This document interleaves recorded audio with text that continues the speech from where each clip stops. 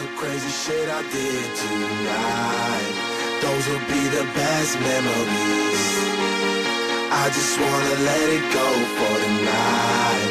That would be the best therapy for me. All the crazy shit I did